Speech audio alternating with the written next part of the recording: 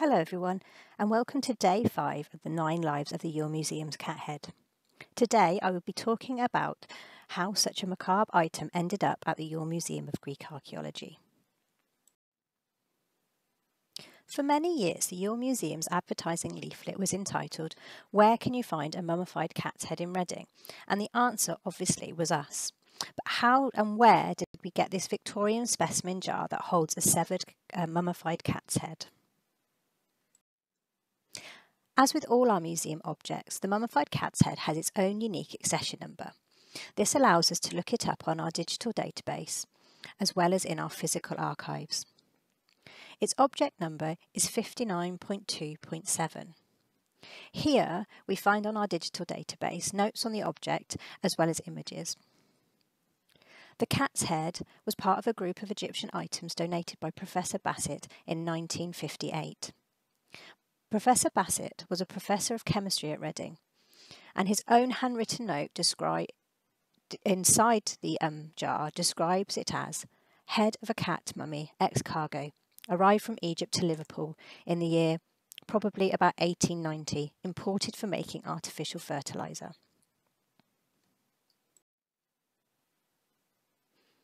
Notes in our archive suggest that the collection he donated were put together by both himself and his father, who was also a noted chemist. Bassett's personal archives can be found in the university's Special Collections Service. We can now look into the transport of animal mummies to Britain in the 1890s, and a good source for this is both local and national papers. So, with thanks to Matthew Knight for compiling a list of newspapers uh, reports about the animal mummies, we can see that there are reports of um, a shipment of animal mummies in the 1890s. So, one from the Birmingham Post.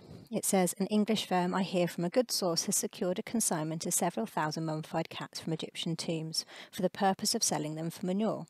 These are to be delivered not in bulk but in a powder.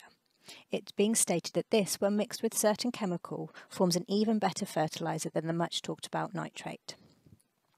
As the Egyptians have previously been known to sell the mummies of their ancestors in orders that they may be ground up into brown paint, paint, of which they have said to be an excellent basis, no wonder need be felt that the remains of many sacred animals be found in their tombs should be similarly put to commercial use. That one from Birmingham. There are more from places like Belfast, Aberdeen, Dundee, and various other places, all talking about this massive consignment of um, Egyptian mummies.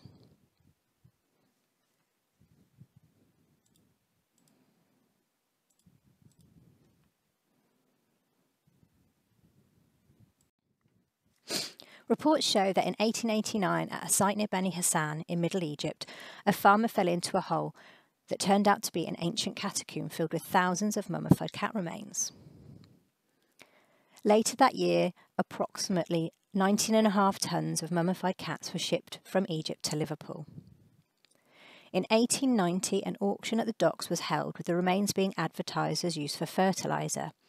Some of the better preserved and notable cats were auctioned separately and brought by institutions like Liverpool Museum, and others brought by individuals for cabinets of curiosities.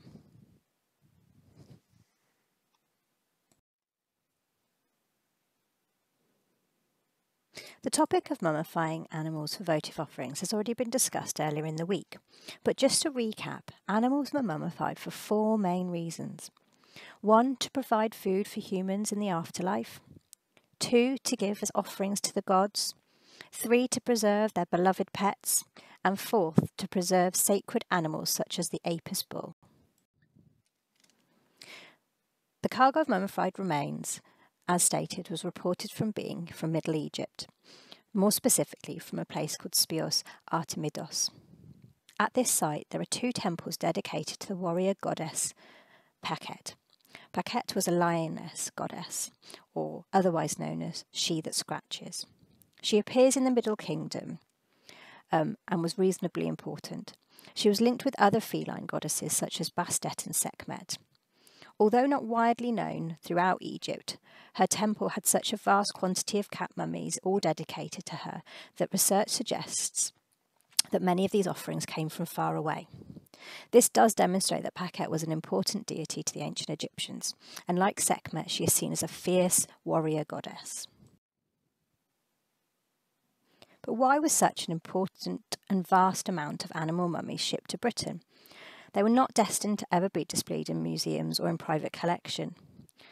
The 19.5 tonnes of mummified remains were imported to be used as fertilisers, as reported in the press. And as reported in the press, it was thought that at the time it could be ground down and they had more benefit to the ground than things like nitrate. We are lucky, though, that many of these pieces did get saved from the fate of being ground up and used as fertilisers. Thankfully, there are many still in collections such as the Ure Museum and Liverpool, and there are probably more in private collections.